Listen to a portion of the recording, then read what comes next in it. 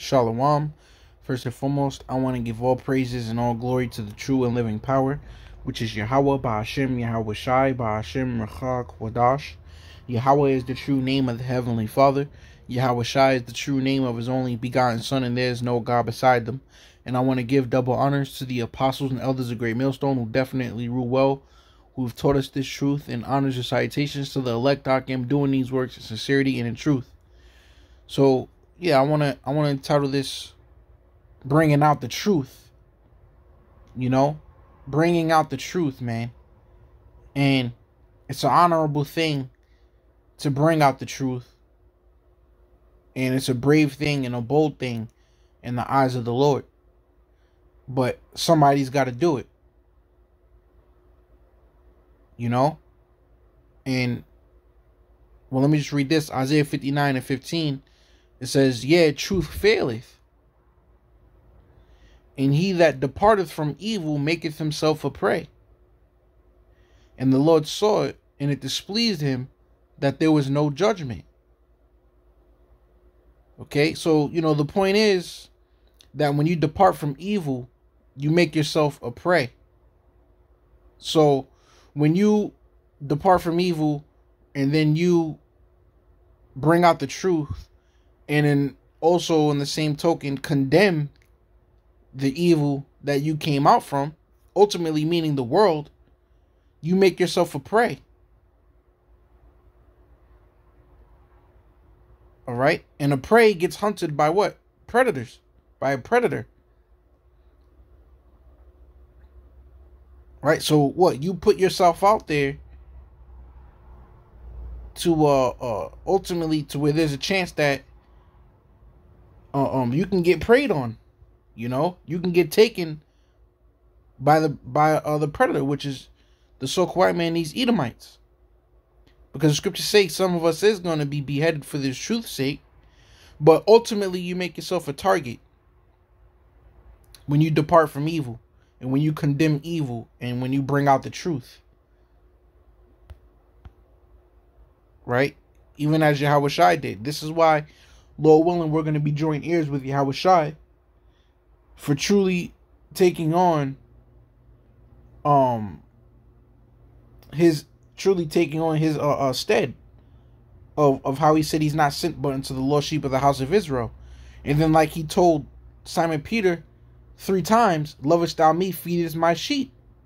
So now we're in a position through the Spirit and power Yahweh Shai to uh, uh, be sent unto the lost sheep of the house of Israel and to tell them to repent or uh, be destroyed, you know, ultimately. Right? But this is John 77. The world cannot hate you, but me it hateth, because I testify of it that the works thereof are evil. See?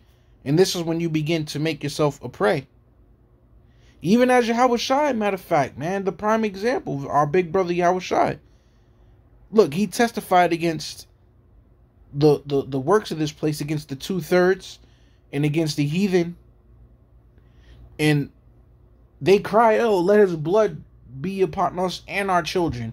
Just please, you know, so forth and so on, man. Oh, we rather have Barabbas, a known uh, robber and murderer we rather have him freed. Why? Because they feel like at least Barabbas wasn't telling me about myself. Okay, at least uh, uh, Barabbas wasn't causing. Well, well, he was causing trouble, but not on a on, on a on a national scale. You know, this is how our people was thinking. Mainly that at least they're not telling me about myself. At least they're not condemning me according to scriptures. Because that's what burns them up. Like the scriptures say.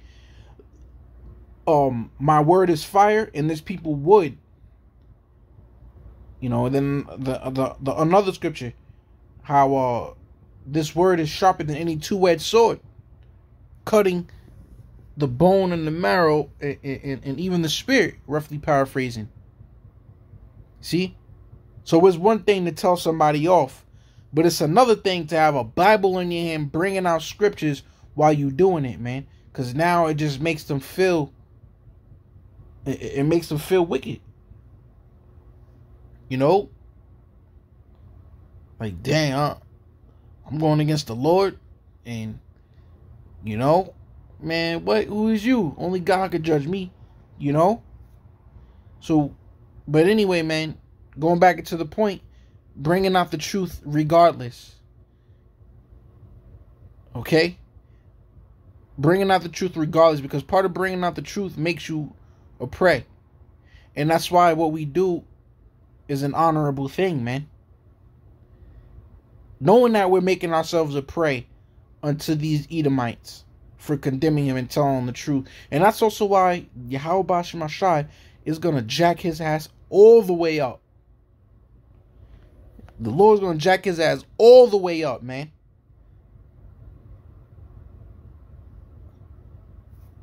For uh, uh, coming against the men bringing out the truth. Scripture say, touch not my anointed, do my prophets no harm. You see that? So we're gonna uh, uh, bring out this truth regardless, man. I want to get another scripture. See, and that's the thing about it. When you have the truth, you you don't really debate. Is look, we're telling you. We're telling you, man. We're not debating you, we're telling you. Like Yahweh said, the Son of Man cometh not not to uh, uh, be taught, but to teach.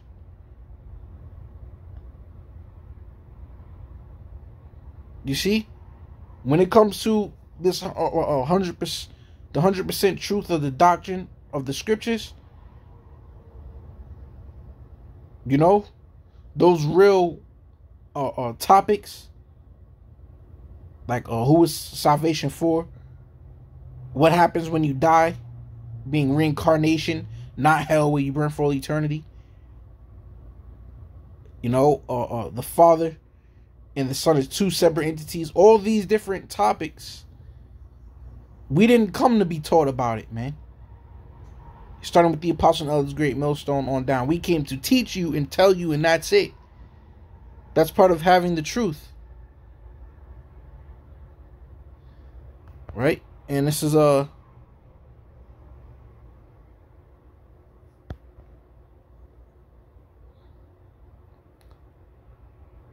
Salaki.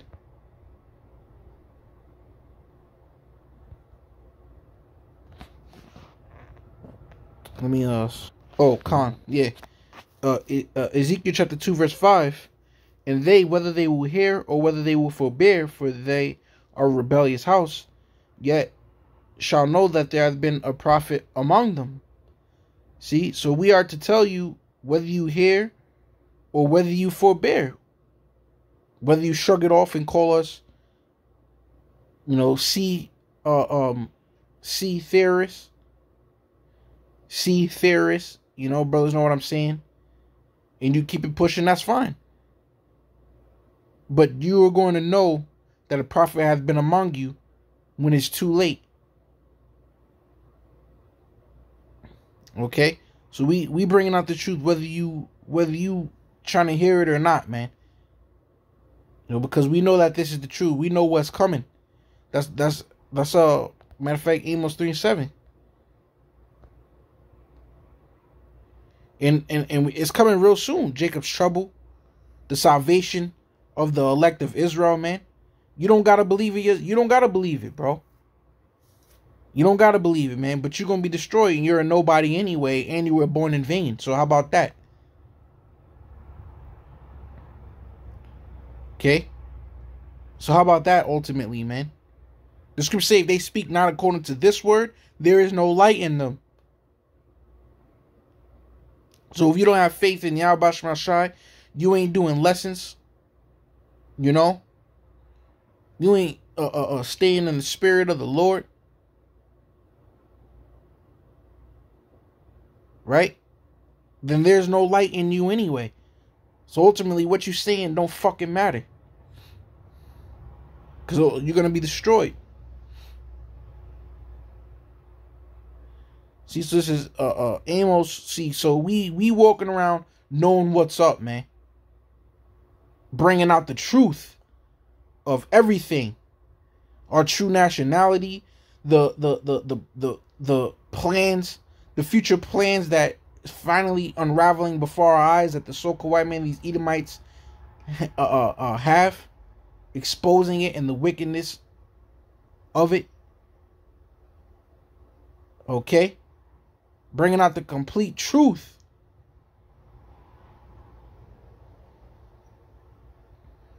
All praise and glory to Yahweh Shemashai, man. So surely the Lord will do nothing, but he revealeth his secrets unto his servants the prophets. So the Lord revealed the secrets unto us, man. And therefore we go out and declare it uh, uh, uh, unto our people.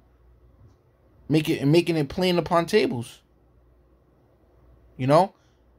But hey man, Yahweh Shemashai, he's not unrighteous to forget our works and labor of love, so he's he's he's gonna um he's gonna help us in that time of need. He's to allow us to reap the uh, uh, rewards of our labors, man.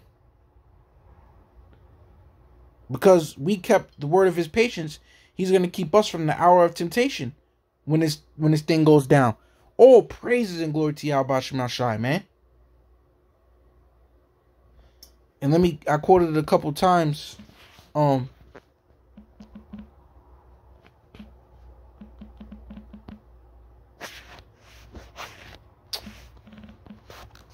and I believe that's um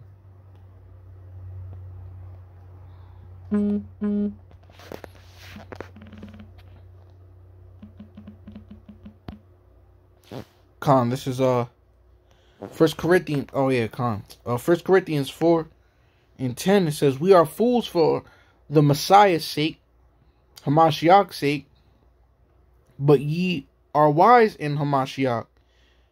We are weak, but ye are strong.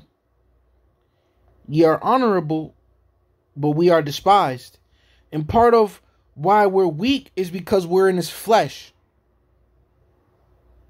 You know? We're in his flesh, man. Which his flesh can easily uh, get jacked up. But then we're strong because in the spirit, like Elisha in his uh uh his understudy, the Lord, I mean, Elisha prayed to the Lord that the Lord could open up his eyes so that he could see the spirit world, man. Right? The account is the the account is there of of our of, of our forefather, man. When the I believe it was the Assyrians when they came outside of the city, Elisha's understudy, he was uh he was worried. He, all these people like, yo, we yo, we fucked, man. And Elisha prayed to Yahweh Shemashai, Lord, open his eye, please open his eyes, so that he could see that you with us. And he opened his eyes, and it was a whole bunch of chariots right there. See? So yeah, in the flesh we look weak, but really, we strong in the spirit because Yahweh Shemashai is with us, man. Yahweh Shemashai is with us. Look at Shadrach, Meshach, and Abednego. They were weak, wasn't they? The the the the uh, uh, uh, um Nebuchadnezzar's men grabbed them up. What could they do about it? Nothing. Because they were weak. Grabbed them up. Come here. But when they got thrown in that furnace, they were strong. Why? Because Yahweh Shai himself was with them, man. So we're weak in the flesh, but we're strong in the spirit. You know? But it says, ye are honorable, but we are despised. Because what we're doing is honorable. They don't understand. Going out there in the highways and byways, week in and week out, anything can happen. And we're out there to tell you the truth. We're out there to give you a chance to the Spirit Payal to repent. We're studying. We're rehearsing the righteous act. We're praying. We're doing all we can to please Yahweh to to increase us, to teach you better, to teach, make it more plain to you, so that you could get on board, man. making ourselves a prey, putting ourselves on the red list to where Esau want to come get us first for teaching the truth. Because he's such a devil piece of shit, evil bitch, man. Excuse my language, man. And he don't want this truth to get out. Because he wants to be as the most high. So therefore, he's he, he wants to he's licking his chops at us, bringing out this truth, exposing him. That's an honorable thing of what we're doing, man. You know, I pray, I pray to never forget that. All right, because it, it it makes us stronger, you know, in the truth, in the spirit, to bring it out furthermore, man knowing that what we doing is honorable in the eyes of Yahweh Shemal Shai. It says, but we are despised. Why? Because the scriptures say, when place of repentance was opened unto them, they understood not, but despised it. You know, so they despised this liberty that they got. Uh, uh, well, ultimately, they they despised uh, uh, the truth coming out, telling them that they need to repent, man. You know, Tell them that they need to rehearse the righteous acts. Okay? It's a, a, a why? Because they say teach them to us smooth things, man. They don't want to hear they're going to be destroyed and this and that. They just want to live their lives. They don't want to hear time of trouble is coming when they just had a newborn baby, newborn baby boy, just got a new house, just got married. They don't want to hear all that. See, so they despise it. Man, what's wrong with y'all? You know, but you wasn't supposed to make this place your rest. So anyway, man, willing.